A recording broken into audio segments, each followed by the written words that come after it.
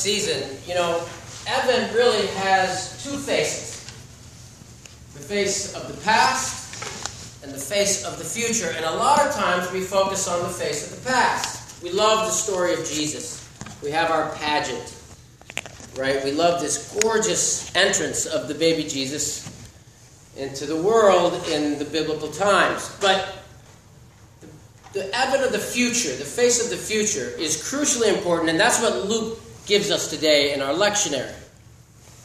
And it's important to remember that, you know, Luke is employing a common biblical style called apocalyptic writing.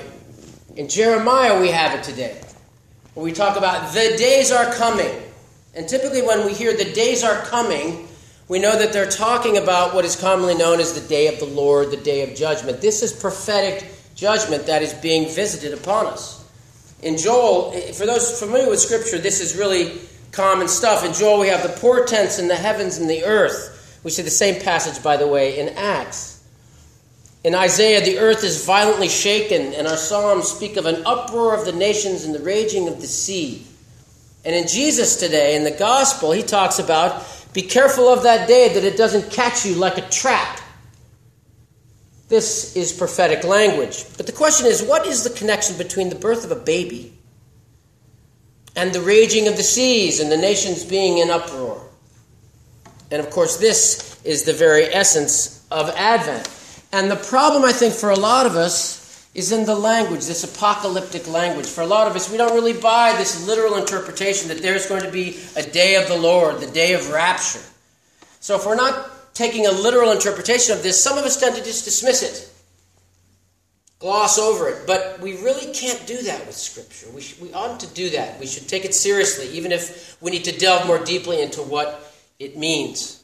So, what does this mean, this day of the Lord, this, this day that is coming?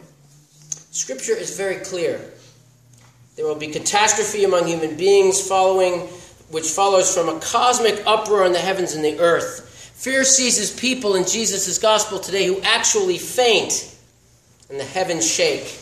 And finally, the Son of Man will appear on a cloud. Now, I cannot tell you exactly what all of this means. But again, for those of us who are familiar with Scripture, this shouldn't frighten us because what we can know is that what this means is that something big is happening.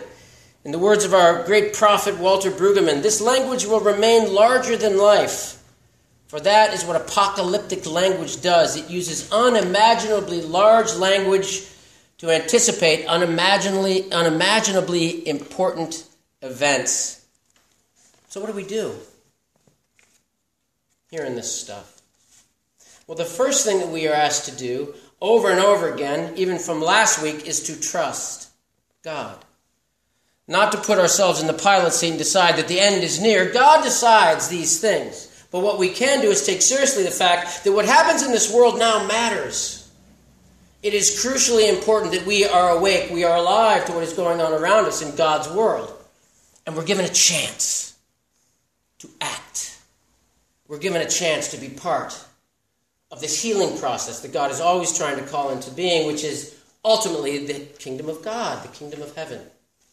Now, I don't know about you guys. When was the last time anybody here actually read Charles Dickens' A Christmas Carol. Oh man, let me tell you something. If you have kids or if you have family, I suggest there's five staves. I suggest every night, the five nights before Christmas, you sit down and read one stave a night to your kids or to yourselves or to your spouses or something because I'm telling you this is this is just one of the greatest stories ever written. I just wrote about it in our newsletter, but I've got to say more. The writing is unbelievably beautiful, but what I think it is, it gets so much about what Christmas actually is. Beyond all the theology, beyond all the nice talk about Jesus and candles and the rest of it, but the actual heart wrenching, gut wrenching, world changing, cracking the world open nature that is Advent, or that Advent and Christmas are meant to be for us. For those of you who don't know, it's a story of this man who is just a, you got to read the, I, I just love the opening description of this guy.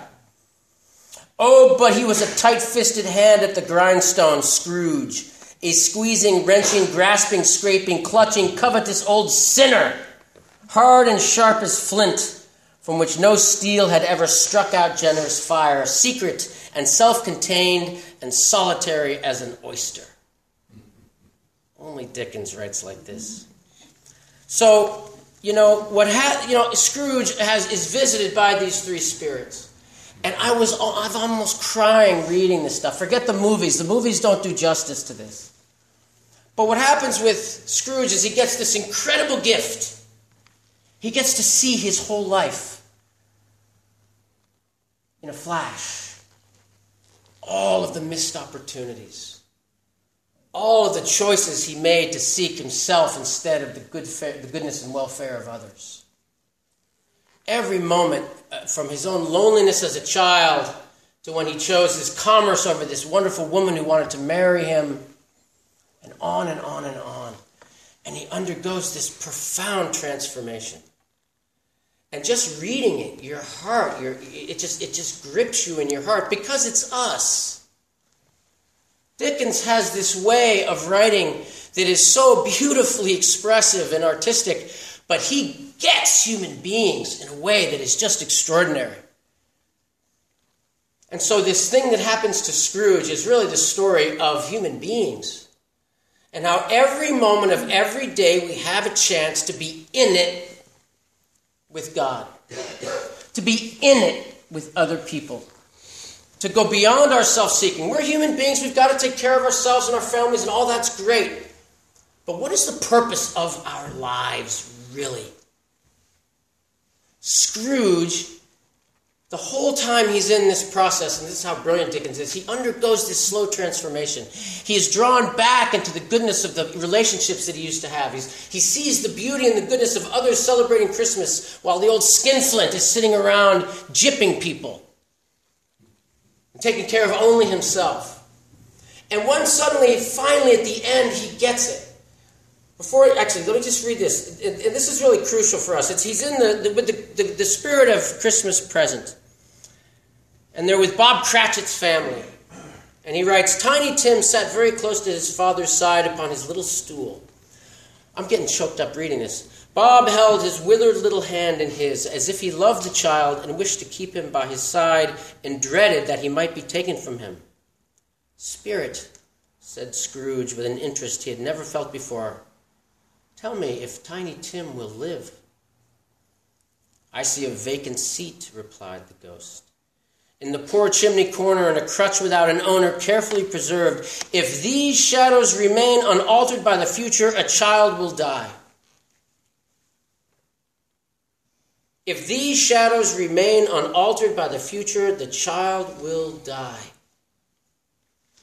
So it's not a very far leap to know the world we're living in. There are situations in this world where if, if, if things are not altered, a child will die. You don't have to get me started on Iraq and our friends there. They, they are dying. They will die if, if action is not taken. But right here at home, right in your neighborhood, right in our world. So what Scrooge learns is that it matters what you do his, he gets his, the spirits crack open his heart and his life.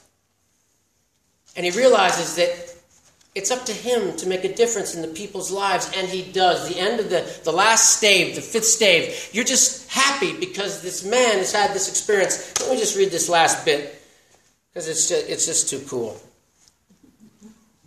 He stuck his head out the window. He realizes that it's actually Christmas. He hasn't missed everything.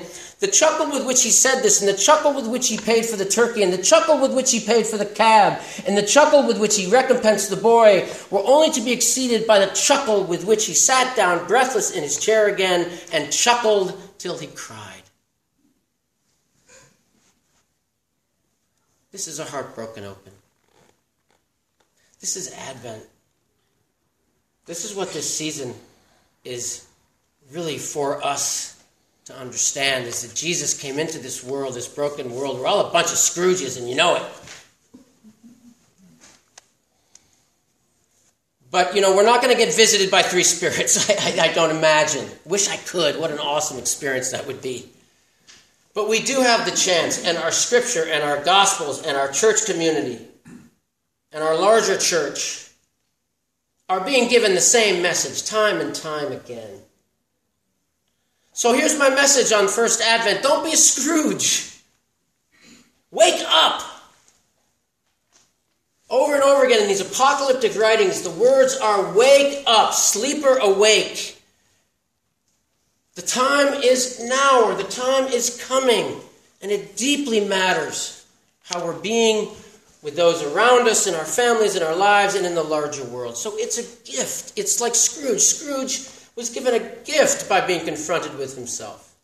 So let us be confronted with ourselves and let us know that we are called to this, this, this incredible state of lovingness and generosity of spirit and with our stuff, all to the glory of God.